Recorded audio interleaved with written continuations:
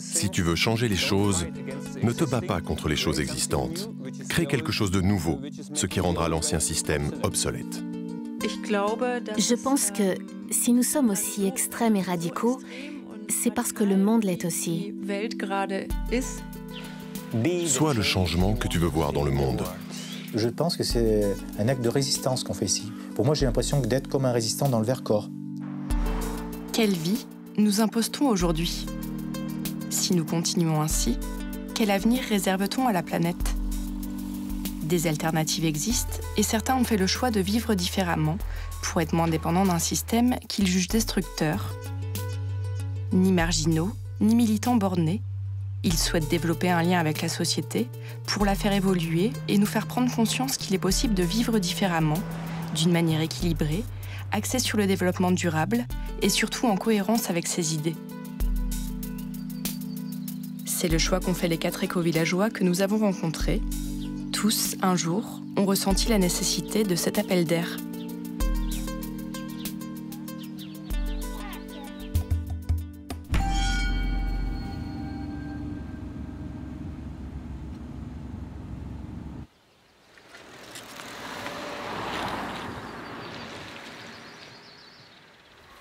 Matawan est un Italien de 63 ans, originaire de Toscane.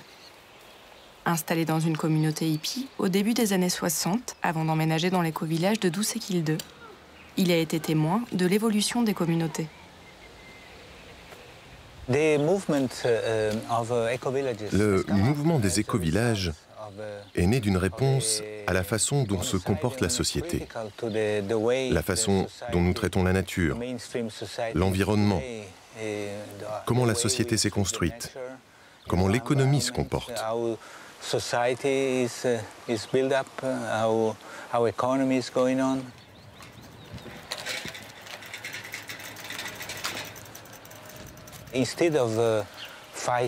Au lieu de se battre dans l'arène politique pour réaliser cette vision, ils essaient de vivre cette vision.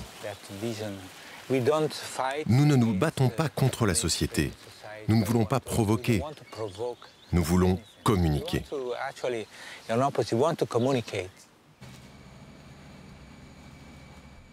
Le mouvement hippie était contre le modèle traditionnel de la famille et voyait cette structure comme quelque chose de négatif. Alors que dans le mouvement des éco-villages, il y a plus d'ouverture d'esprit pour différents points de vue.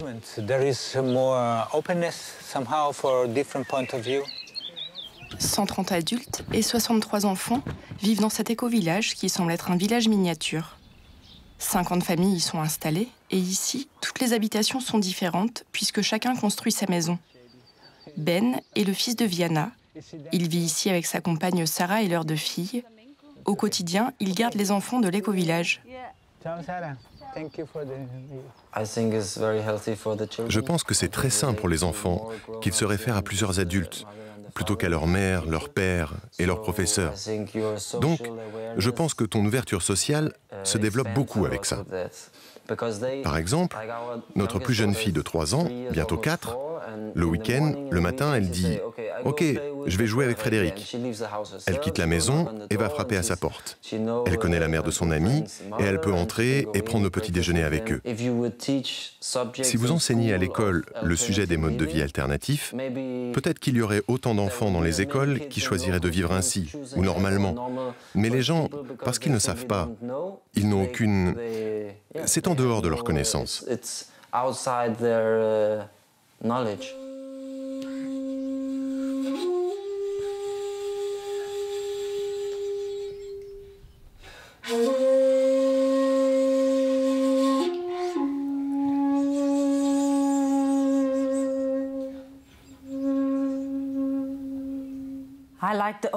J'aime l'ouverture d'esprit qui existe dans le village, comme le fait que nous nous acceptions chacun.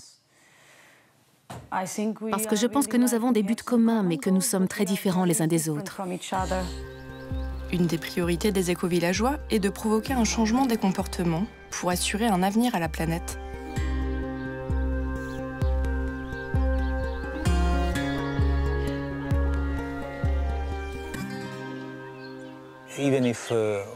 Même si nous changeons le climat, que nous affectons la nature et que nous faisons mourir de nombreuses espèces animales, il y a toujours très peu d'action au niveau politique.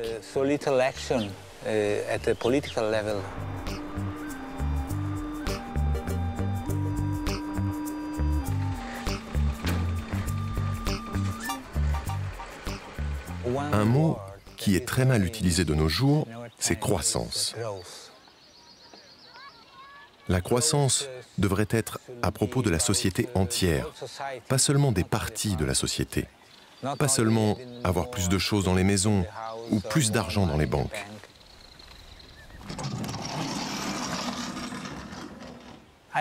Je suis plus pour la décroissance économique.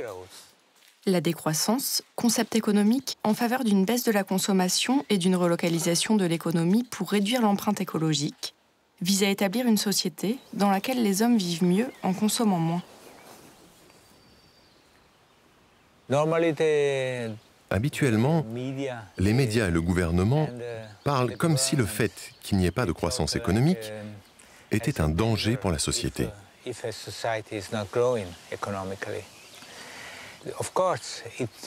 Bien sûr, cela signifie qu'ils ne peuvent pas voir le changement plus loin que le bout de leur nez.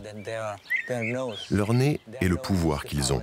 Et donc, peut-être que le changement doit venir d'ailleurs.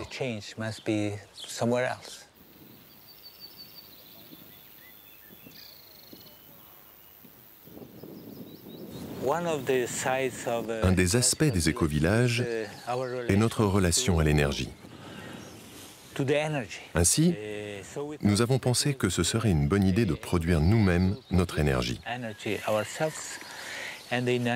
Et en 1994, nous avons décidé de construire une éolienne. Et l'éolienne que vous pouvez voir est le résultat de notre projet.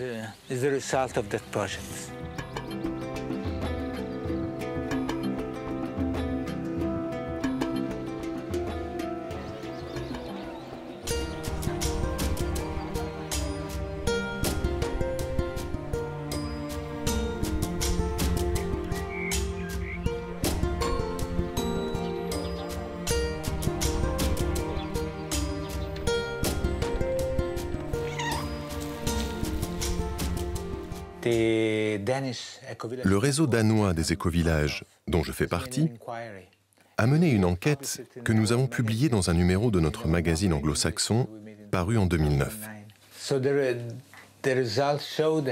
Le résultat montre que dans un éco-village, nous utilisons 60% d'énergie en moins que dans un village normal.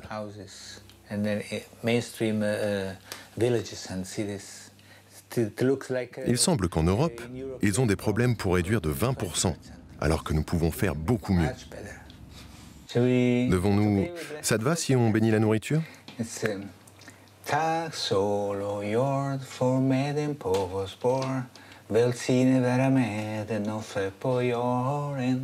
Bon appétit. Bon appétit. Mm.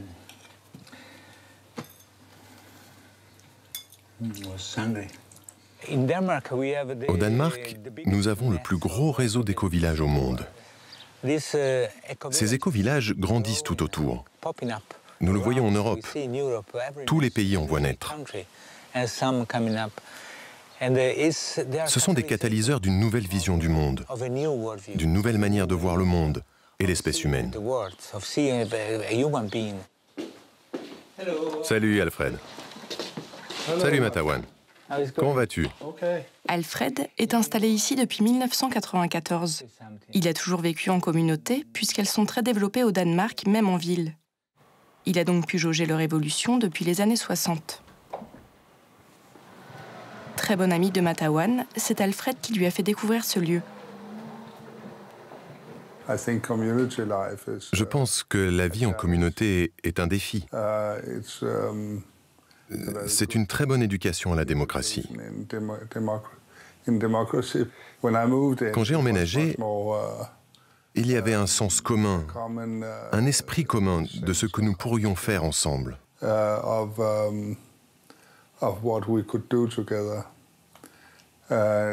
Aujourd'hui, c'est plus plus individualiste. C'est comme le reste de la société. Tout le monde a ses propres projets, ses enfants, ou l'écologie, ou, ou, peu importe. Le terrain sur lequel a été bâti l'éco-village a été acheté en 1989 et il a fallu 7 ans pour que tout se mette en place. Beaucoup de participants ont quitté le projet en cours de route face aux difficultés administratives, plus complexes que ce qu'ils imaginaient. Matawan est installé ici depuis 1994. C'est l'un des plus beaux endroits de notre village. C'est le jardin que l'on appelle Stardust. Et dans ce jardin, il y a un arbre très spécial. Cet arbre est aussi vieux que la communauté. Cet arbre est né avec la communauté. Viana a toujours vécu en communauté depuis son enfance. Elle est l'une des fondatrices de cet éco-village où elle s'est installée dès le départ en 1990 avec son mari et ses trois enfants. Son fils Ben vit également dans l'éco-village avec ses deux filles, dont Viana s'occupe régulièrement. Aujourd'hui encore, elle a du mal à évoquer la difficulté des premières années de l'installation. Au départ, ici, tout n'était qu'un champ. Il n'y avait pas d'arbres, seulement un jardin vraiment très spécial dans la ferme. C'était notre lieu de réunion parce que nous n'avions pas encore de maison. Nous vivions dans des wagons. Je pense que nous n'étions pas trop inquiets parce que je pense que les sept premières années, je travaillais tout le temps.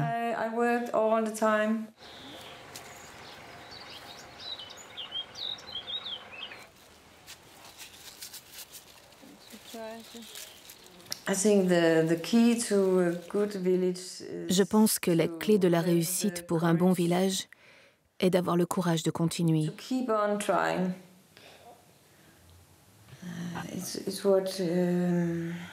C'est ce que vous pourriez vouloir pour le monde, d'une certaine façon, je pense.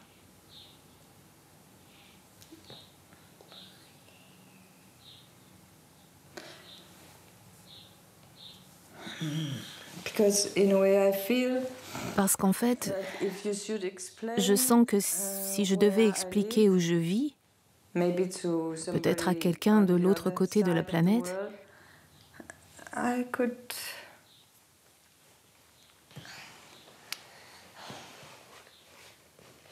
je pourrais dire...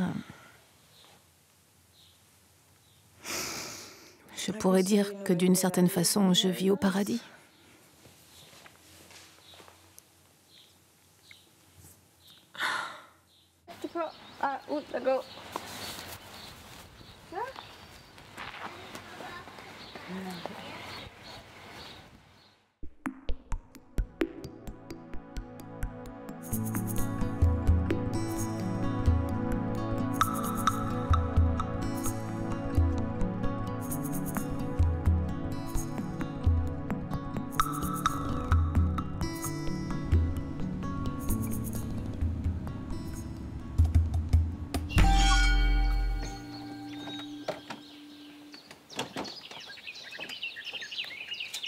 Cette nouvelle vision du monde se retrouve également dans l'éco-village de Siebenlinden en Allemagne, où le concept de décroissance est lui aussi appliqué.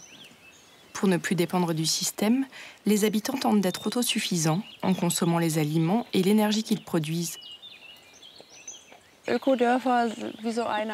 Nous pouvons dire que les écovillages sont un laboratoire pour expérimenter un mode de vie plus écologique.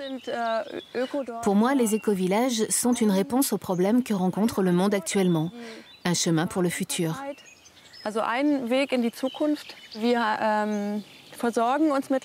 Au niveau de l'énergie, nous sommes autosuffisants à 80% avec les panneaux photovoltaïques. Ça varie un peu selon que le soleil chauffe plus ou moins.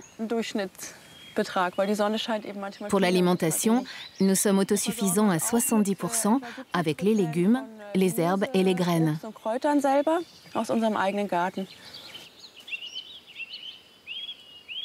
Kräuter hier in den Mixer gestopft.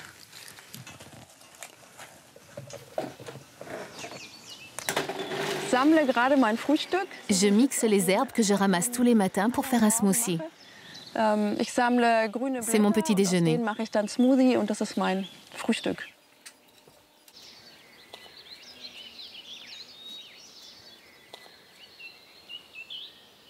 Äh, C'est la première maison en paille d'Allemagne qui a été validée par les autorités officielles. Elle a été construite dans le but de ne consommer que 10% de l'énergie qu'utilise une maison de la même taille.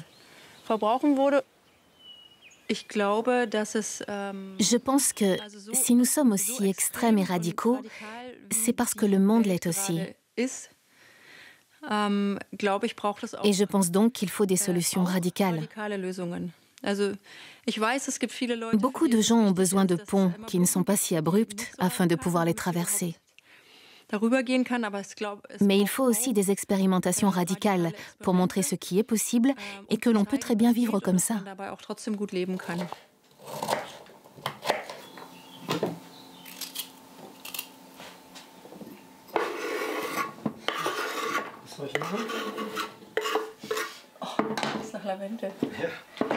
Heute sind es nicht ganz so viele. Das? Blumenkohl oder Brokkoli oder sowas.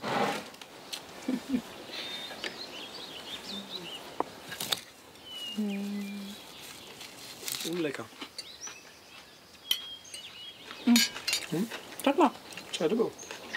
Dein Name. Ich weiß nicht, wie ging es dir denn mit Alexandra gestern? Ich bin zur Rohkost Je suis devenu crudivore parce que j'ai toujours voulu essayer. J'ai remarqué que quand je mange un aliment cru, comme une carotte ou un concombre, c'est une autre satisfaction que de manger des produits cuits. J'aime beaucoup manger des repas cuits, mais je voulais vraiment essayer ce que c'est de manger uniquement cru. Et finalement, j'ai continué car j'ai l'impression que je me porte mieux, que je suis en meilleure santé. Ce n'est pas seulement pour ça, mais c'est une grande motivation pour moi. Je me rends compte que je vais en général bien mieux. Je suis moins souvent malade. J'ai plus d'énergie pendant la journée. Je dors moins. Tout va mieux. Si ces éco-villageois tentent à être autosuffisants et indépendants de la société, leurs revenus proviennent en majeure partie des visiteurs qu'ils reçoivent. À l'inverse de Doucekilde au Danemark, où tous les habitants travaillent à l'extérieur, en Allemagne, à Siebenlinden, seules 5 personnes ne travaillent pas au sein de l'éco-village. L'intégralité de leurs revenus provient donc des séjours et taxes payés par les visiteurs. C'est le cas du couple de Français Lisa et Pablo. En séjour à Siebenlinden pour deux semaines, ils payent des taxes de séjour et de restauration et contribuent également aux travaux de l'éco-village. La qualité de vie ici, elle implique aussi un coût qui est assez élevé. Donc c'est aussi bien à payer pour les habitants que pour les visiteurs. Qu'il y ait des séminaires, c'est très bien, mais peut-être que ça peut être aussi complémenté par d'autres activités sur le lieu qui, euh, permettraient de, faire rentrer de l'argent, mais pas uniquement dépendre justement du public qui visite. Nous sommes confrontés ici à Siebenlieden à de grandes oppositions, parce que l'on voit tout ce processus en développement. Nous essayons par exemple de professionnaliser notre fonctionnement en ce qui concerne les séminaires de sensibilisation ou de mettre en place des activités professionnelles rentables. Parce que nous avons simplement besoin d'argent et ça de plus en plus. Parce que nous nous autofinançons beaucoup.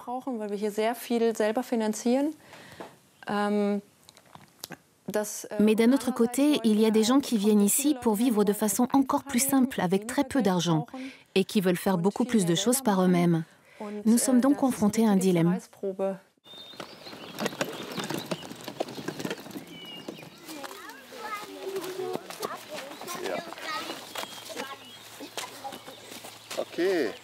Cette volonté d'autosuffisance va même au-delà de l'alimentation et de l'énergie puisque les enfants de maternelle ont même leur propre école au sein de l'éco-village. Ils étudient toute l'année dans les bois pour développer leur autonomie. La réussite de cet enseignement plaît énormément aux parents des villages alentours qui ont inscrit leurs enfants dans cette école.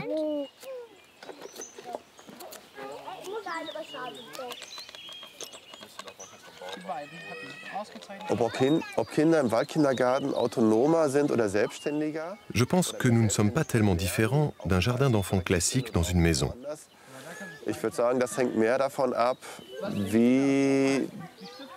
Mis à part que beaucoup d'entre nous connaissons bien les plantes et les animaux dans notre environnement, parfois mieux que les parents. Abgesehen davon, dass viele von uns hier einfach Pflanzen und Tiere sehr gut können, oftmals besser als ihre Eltern.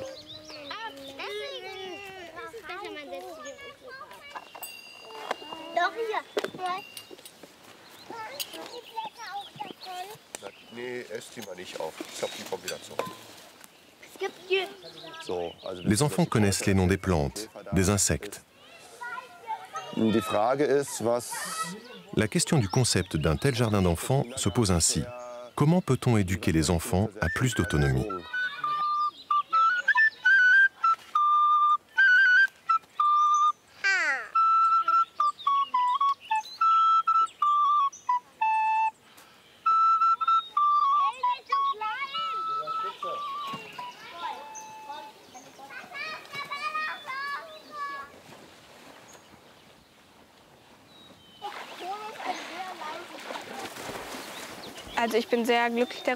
Je suis vraiment très heureuse d'habiter ici. Il y a toute cette nature. Et, et puis j'ai tellement d'amis ici. C'est presque comme le paradis.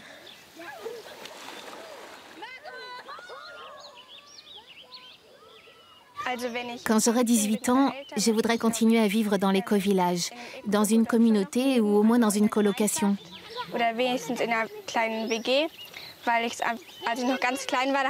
Quand j'étais plus jeune, j'ai dit à mon père que je ne voulais jamais aller vivre en ville à cause des bruits des voitures et puis de la lumière des phares. Nous vivons dans un monde de savoir. Je trouve que nous sommes très bien informés en Allemagne euh, sur toutes les choses qui se passent dans le monde. Mais je me rends aussi compte qu'il y a un fossé entre ce que nous entendons et savons et la manière dont nous nous comportons.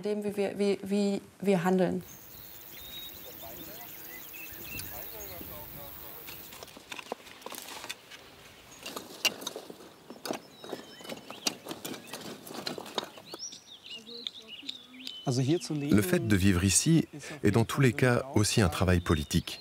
En allemand, il y a un dicton qui dit que la vie privée est aussi politique. Et si on essaye de trouver des modes de vie privés alternatifs, c'est d'une certaine manière aussi un engagement politique, dans le sens où nous tentons de changer la société actuelle.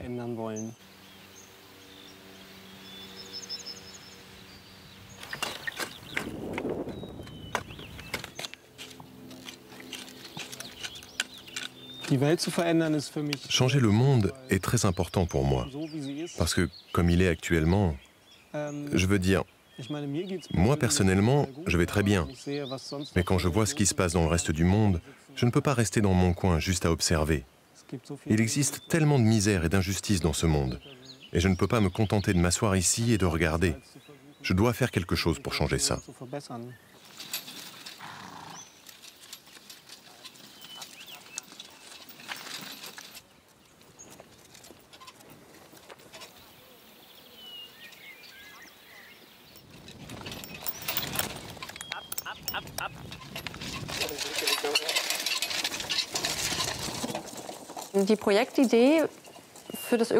L'idée d'un projet d'éco-village existait déjà avant la chute du mur.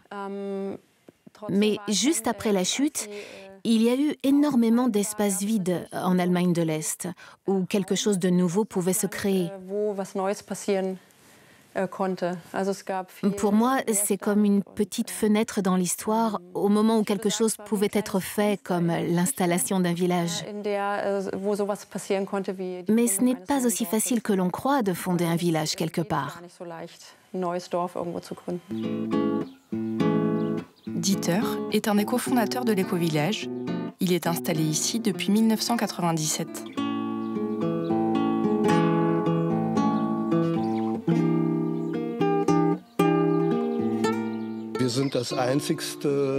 Nous sommes ici dans le seul et unique éco-village installés au sein de la nature. Nous avons lutté parce que nous voulions démontrer que notre coopérative n'abîmerait pas la nature, que pour la préserver, nous allions minimiser les infrastructures de canalisation, les routes, l'alimentation en eau, pour abîmer le moins possible la nature.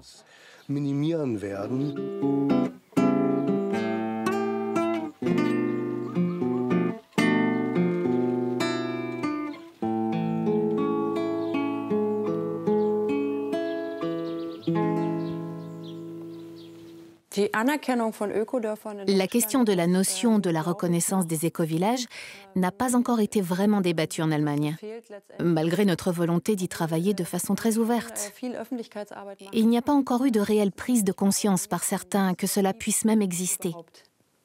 En l'occurrence, nous avons des contacts avec des parlementaires. Des membres de partis sont même venus nous rendre visite pour voir notre fonctionnement et pour qu'ils se rendent compte que nous y parvenions très bien. Mais il manque tout simplement cette prise de conscience et l'appui des pouvoirs publics, car les lois et règlements en vigueur ne se prêtent pas forcément à ce genre d'entité.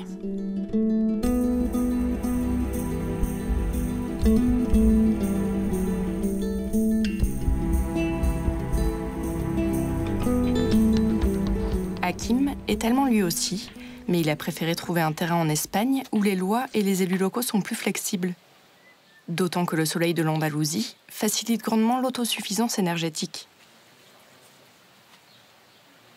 D'un côté, c'est facile parce que quelque chose comme ce que nous avons fait, en Allemagne, ça aurait été sûrement impossible, parce que le système y est trop rigide. Ici, le problème est que les choses ne sont pas encore définies. Ainsi, vous pouvez faire beaucoup avant que quelqu'un ne vous dénonce, mais si vous êtes dénoncé, c'est difficile de prouver quoi que ce soit pour n'importe quel type de bâtiment. Donc, pour les petits bâtiments, ce n'est pas vraiment défini, ce qu'il est possible de bâtir, ou si vous avez besoin d'une permission ou pas, tandis qu'en Allemagne, les lois sont précisément définies. Je pense que nous sommes à un point typique de l'évolution humaine, où nous avons encore le temps de travailler sur un concept pour l'avenir. Mais c'est comme si les politiciens fermaient les yeux. Il faut vraiment envisager ce qu'il va se passer après le pic pétrolier. Mais ils essayent juste de continuer comme d'habitude. La phrase de Richard Buckminster Fuller est très importante pour moi. Il dit ceci, Si vous voulez changer les choses, ne vous battez pas contre les choses qui existent déjà créer quelque chose de nouveau, ce qui rendra l'ancien système obsolète.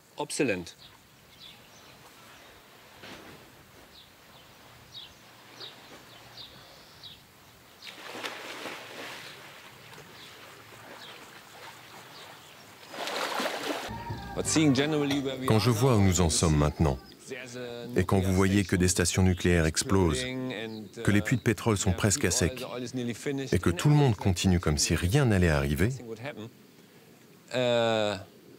c'est une chose que j'ai du mal à comprendre.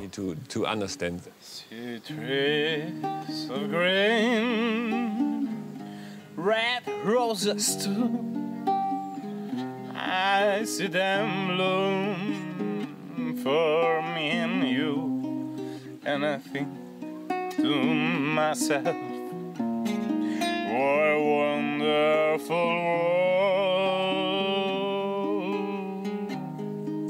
Le système ne va pas durer longtemps. C'est donc idiot de travailler dans le système pour avoir de l'argent qui ne pourrait bientôt plus exister parce que tout est en train de s'effondrer. Et je pense toujours ainsi. Donc, principalement, ma protection pour le futur est de construire un endroit de substitution qui serait capable de nous nourrir. Nous créons toute notre énergie. L'électricité que vous récupérez du réseau est dans la plupart des endroits connectés au pouvoir nucléaire. Alors, je ne veux pas avoir à faire quoi que ce soit avec ça. C'est quelque chose de sale, qui crée de la pollution ou de gros dangers dans d'autres lieux. Évidemment, je crois qu'un autre monde est possible. Et j'espère que toutes ces crises que nous traversons actuellement vont nous aider à produire ce changement.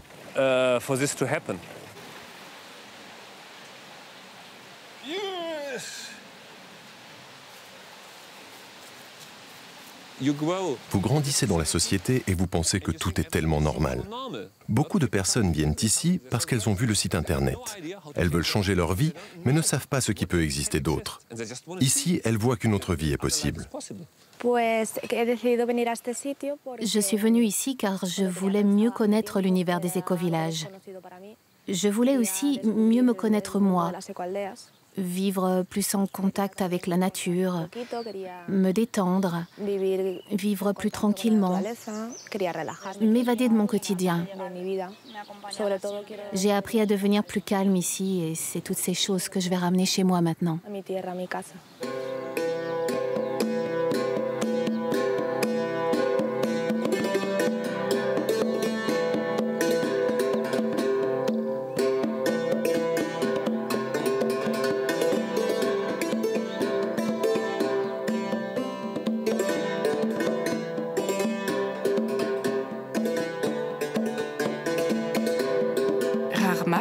Compagne d'Akim, est installée dans l'éco-village depuis 5 ans.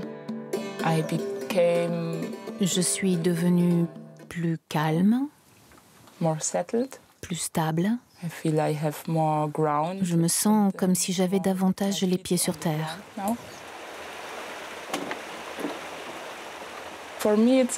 Pour moi, c'est important de donner aux gens une inspiration, et de leur donner au moins l'opportunité de voir notre vie ici et l'espace pour qu'ils puissent trouver de l'inspiration et des idées. Et peut-être qu'ils trouvent la motivation de changer leur vie.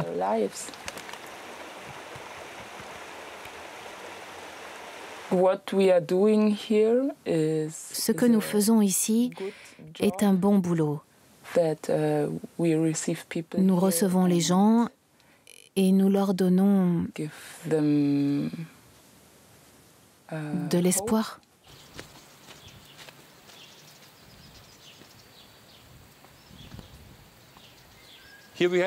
Ici, nous avons un exemple de la philosophie dans laquelle nous devons essayer de briser les barrières entre l'espèce humaine et la nature, tout en gardant un certain confort, mais en vivant au contact de la nature. Pour cela, nous avons différents espaces que vous pouvez beaucoup ouvrir en été et fermer en hiver. Donc voici un exemple de comment ouvrir cet espace pour vivre bien mieux connecté avec la nature. Viens Alex, donne-moi un coup de main. Donc, nous fermons la porte.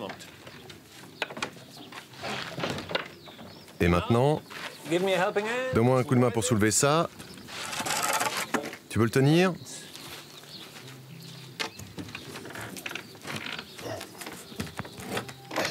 OK. C'est bon. Ça devrait être bon. So, come in. Entrez.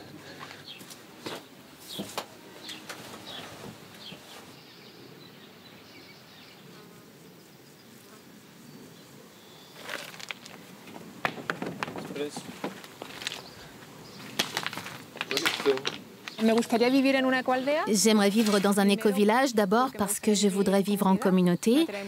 J'aime beaucoup vivre avec d'autres personnes. Je pense que c'est plus naturel.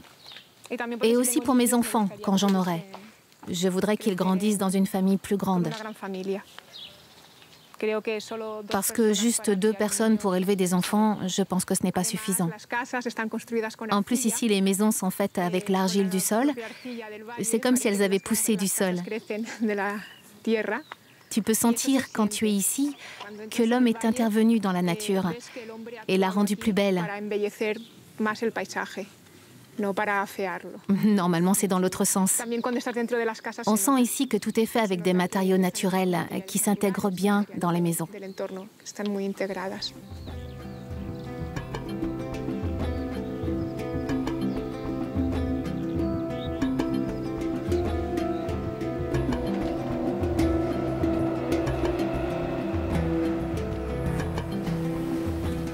Ces maisons sorties du sol et ce mode de vie atypique ont au départ intrigué les habitants du petit village voisin, Yator, où Hakim passait pour un farfelu.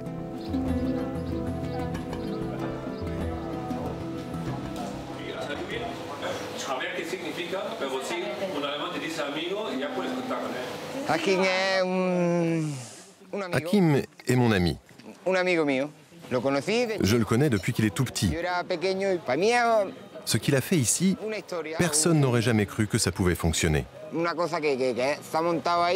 compost, une machine à laver écologique, un système pour épurer l'eau, tout le monde trouvait ça fou au début.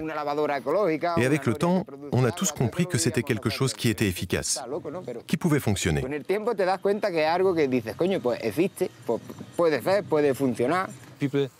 Les gens ont toujours besoin d'apprendre de solides choses pour changer leur vie. Parce que plus la crise est présente, et plus les gens nous contactent et nous disent ⁇ Je vis à Madrid ou Berlin ou peu importe, et j'ai vu que vous viviez ainsi, et je veux savoir comment faire, je veux sortir de la ville et je n'ai aucune idée de comment faire. ⁇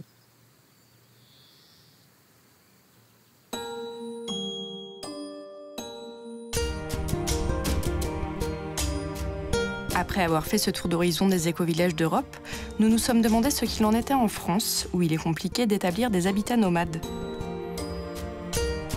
En effet, ce type d'habitat n'est autorisé qu'à de très nombreuses conditions. Le raccordement à l'électricité est notamment obligatoire.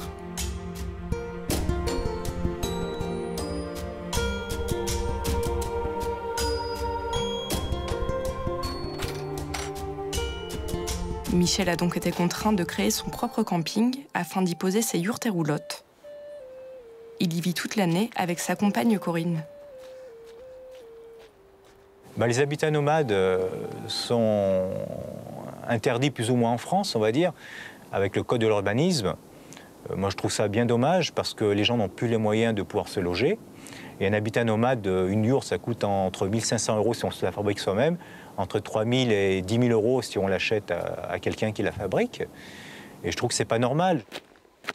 Actuellement, ce sont en effet les municipalités qui décident si elles autorisent ou non l'installation de yourtes destinées à l'habitation principale.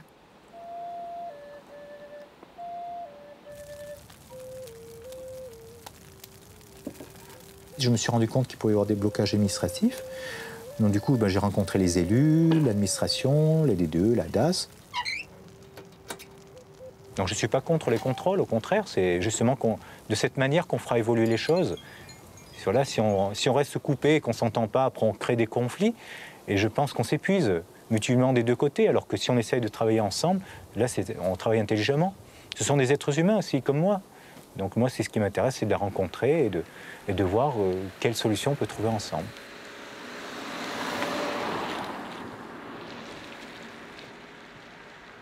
Vous êtes à l'heure Bah oui, je suis à l'heure, hein. on a fait rendez-vous.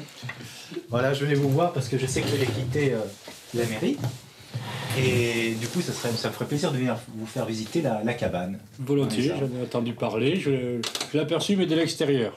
Quand on a eu de, beaucoup d'entretiens, puisqu'on a eu des problèmes parfois administratifs, des difficultés.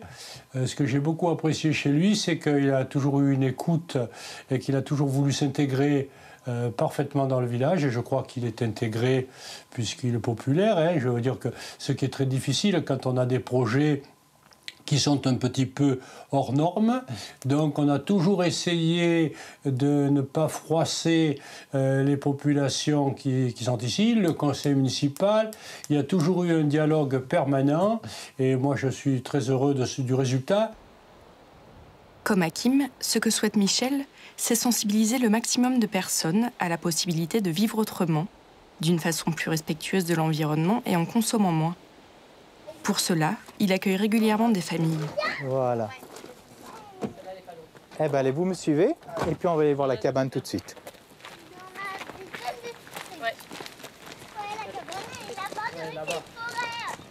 Dans la petite forêt, oui. Donc là, ici, il y a un lit pour vous, et puis là, un lit pour les, enfants, le petit qui claque, est ici. Voilà. Très bien. Vous fumez au fait? Non. Bon, très bien. C'est bien, si vous ne fumez pas, c'est encore mieux. J'ai pris trois jours pour réfléchir quand je suis rentré dans les coffrets Smartbox ou Cool Cadeau. Et puis euh, je me suis dit, bon, le fait de toucher toutes ces personnes, je me dis c'est possible, donc on peut. Je me sers en fin de compte, je dirais pas que je me sers du système, parce que, mais au moins je peux toucher beaucoup plus de population. Donc ça c'est important de pouvoir euh, rencontrer d'autres personnes, parce que tous ces gens-là, ils ne seraient pas venus ici, peut-être. Quand je fais des visites, euh, pour moi, c'est important, c'est toucher les consciences des personnes, parce que j'ai toujours de belles consciences devant moi. Donc simplement leur montrer que c'est possible qu'on peut vivre autrement, puisque moi je l'ai vécu pour moi-même. J'ai été dans le système, et j'y suis encore d'une certaine manière, parce que je suis auto-entrepreneur. J'ai un numéro de SIRET pour pouvoir recevoir les classes vertes, pour être validé par l'éducation nationale. Mais j'essaye de faire le lien entre les gens qui vivent dans les villes et ceux qui vivent comme nous, voilà, d'une autre façon. Et de montrer que c'est possible, qu'on peut changer de vie. Tu préfères euh, la maison ou la cabane et tout ça? La cabane. Est-ce que tu aimerais habiter dans la cabane? Oui.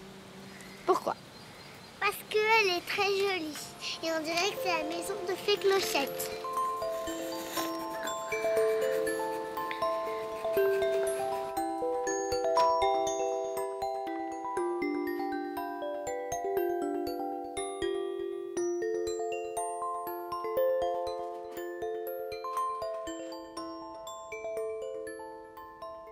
J'aime bien ici parce que ça permet de prendre des vacances et pas rester tout le temps devant la télé ou voilà. C'est vrai que je trouve que de voir des choses très différentes, justement, ça va leur apporter euh, une ouverture d'esprit. Bah, voilà, qu'elles ne voient pas euh, que euh, Disneyland ou le McDo et qu'elles fassent d'autres choses. Et la montagne, la campagne, elles aiment bien. Et on voit qu'ils s'amusent avec rien, en fait. Elles n'ont qu'une envie, nous, on veut aller se promener, elles, elles veulent rester dans la cabane se retrouver euh, en pleine nature avec euh, aucun magasin, aucun pas de réseau, pas de réseau, pas de, tu vois, non, ça, ça fait du bien. Quand tu es citadin, tu vois, nous on est, on vient de Lyon, euh, centre-ville, donc c'était, c'est un choix en fait de, en vacances, tu vas dans ce type d'endroit parce que justement ça te change de ton quotidien, de ta routine, de, donc ça fait du bien quoi. Ça te remet aussi un peu à ta place. De, voilà, on est aussi l'être humain dans la nature. moi, j'aime bien ce genre de choses.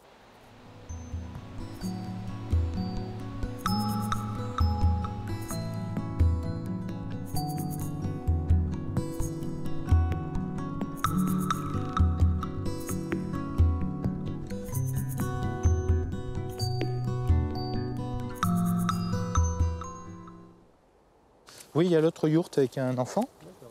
Et puis demain, j'ai la cabane dans les arbres qui sera prise aussi. Rentrez. Donc là, vous avez une bonne couette en, plume. Voilà. Je vous laisse allumer. Là, vous allez peut-être installer vos affaires comme ça. Puis après, vous éteindrez ben, les petites lampes. Bonjour. Bonjour. Bonjour. Bonjour. Bonjour. Je vous laisse vous installer. Vous avez bien dormi dans la cabane? Oui, très très bien. Qu'est-ce que je vous sers pour le petit déjeuner? Du café, du thé, du chocolat? Tu veux du thé toi? Du thé aussi. Bon, si, c'est bon. Tu peux. Hein. Du thé. Toi, tu veux un chocolat chaud ou pas? Tu boiras, hein Tu boiras? C'est un lieu de transmission et de, de partage. Euh, de convivialité aussi, parce que bon, on a un camping écologique. Pour nous, ça veut dire que c'est pas non plus la discothèque et les bruits. Euh, bah, c'est le son de la nature, c'est du ruisseau, des, bah, des, personnes qui vont apporter aussi des fois leurs instruments, guitare, euh, veridou, on a eu, enfin des, des choses qui sont en harmonie avec ce lieu. Quoi. Alors nous sommes le couple d'acupuncteurs qui avons passé le week-end dernier en yourte. Depuis la semaine dernière, le colibri fait son chemin. Nous sommes en train d'affûter notre maison à rénover. Merci encore de cette belle rencontre et de cet éveil de conscience. Si on peut vraiment aider les personnes, euh, nous, ça nous fait plaisir aussi. Pour transmettre au mieux son expérience, Michel organise des visites guidées pour chaque personne qui dort dans son camping. Donc ici, c'est la phytoépuration. Donc c'est toutes les eaux grises de la maison qui arrivent. Cuisine, machine à laver, machine à laver, salle de bain, douche.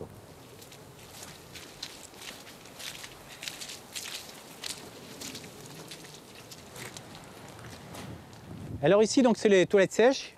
Qu'est-ce qu'il y a écrit sur le panneau là? Tiens, lisez-moi. Qu'est-ce qu'il y a écrit là? Qu'est-ce qu'il y a écrit?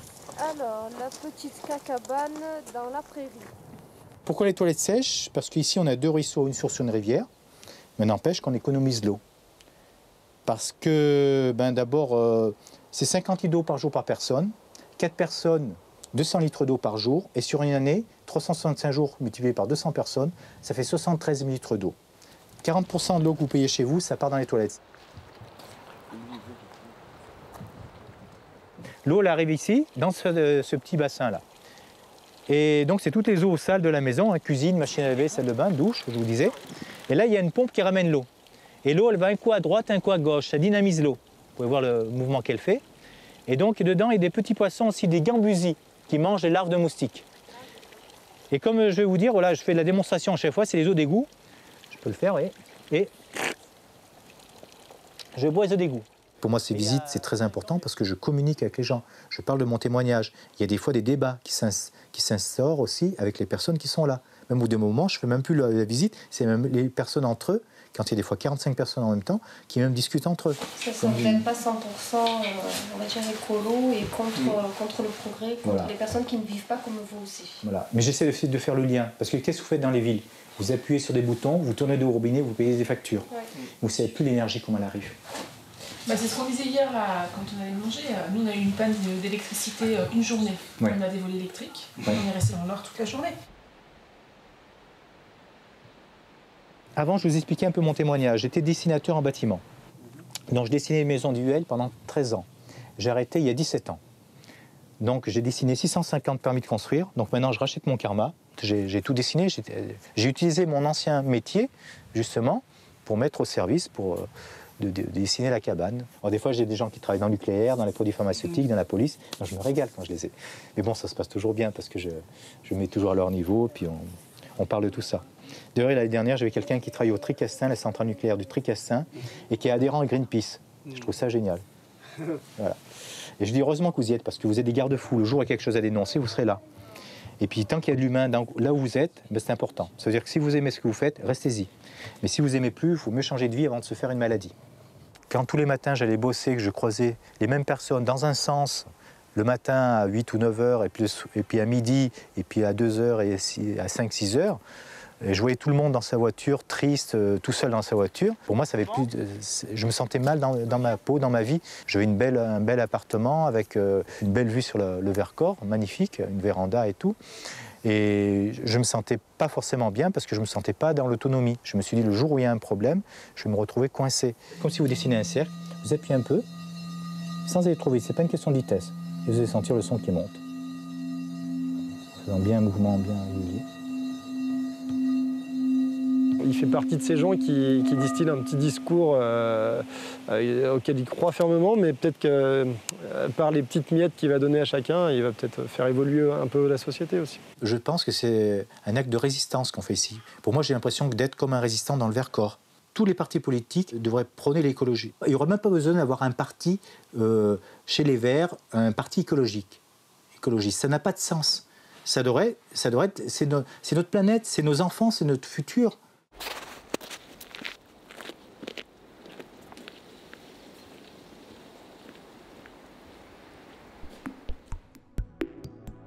Si ces éco-villageois tiennent fermement à être en lien avec la société, ils souhaitent aussi établir un lien fort entre eux. Tous les ans, une conférence mondiale des éco-villages est ainsi organisée. Nous avons assisté à ce rassemblement dans l'éco-village de Tamera au Portugal, à 100 km au sud de Lisbonne, dans la petite commune de Colos. Le GEN, le réseau mondial des éco-villages et toutes les communautés comme les vôtres, ou Tamera, où nous nous trouvons ici, offrent une graine d'espoir, quelque chose de différent et quelque chose qui s'est harmonisé et densifié avec le temps. Bonjour, bienvenue, je suis Hakim et je veux vous présenter le jeu Mandala pour apprendre à vivre en communauté. Je travaille sur une plateforme Internet depuis, depuis un an pour faire découvrir notre savoir-faire et l'inspiration de notre projet, mais aussi des projets des autres. Et j'ai réalisé que notre projet est basé sur une mise en contact très lente avec les gens. Et je me suis tout d'un coup senti faisant partie d'une équipe où nous travaillons sur un village mondial. Je suis maintenant capable d'apporter au monde cet outil sur lequel je travaille d'une manière beaucoup plus efficace. Ce que nous, nous devons faire est de réorienter l'argent de ce monde. À quoi sert-il Combien d'argent va dans la création de distractions Or, nous avons besoin de déplacer ces fonds pour construire un système durable. Nous avons été présents au meeting des Nations Unies plusieurs années. Le GEN a un statut de consultant dans l'ECOSOC, le Conseil économique et social des Nations Unies. Alors, certaines des connexions que nous avons avec les politiciens sont venues de ces rassemblements. Par exemple, notre relation avec le gouvernement allemand, et notamment avec un des politiciens qui était présent à la conférence de Copenhague sur le changement climatique. Um, Il avait travaillé pendant des mois à sa préparation et attendait de meilleurs résultats. Il a été très déçu. Il est venu à un rassemblement du Gène un jour et a trouvé cela fascinant. Um, Ce que je crois, c'est que le changement ne va pas être un procédé de haut en bas. Je crois que c'est devenu plus qu'évident et plus que clair. Je crois que c'est le directeur du Comité international pour le changement climatique qui a dit très clairement qu'il croyait à un changement du bas vers le haut parce que les institutions bougent trop doucement. Elles ont beaucoup de travail pour changer et doivent investir beaucoup de temps et elles ont besoin de notre aide. Et si on regarde autour de nous, le changement dans les consciences qui est en train de se produire sur cette planète, c'est incroyable. Et ça va très vite, particulièrement avec l'aide d'Internet. Ça se propage de façon exponentielle, par vagues. C'est ce que nous avons pu observer pendant le printemps arabe et dans d'autres mouvements de société civile. Je crois que la ressource la moins bien utilisée en ce moment sur la planète est la volonté des gens de s'engager pour un changement positif.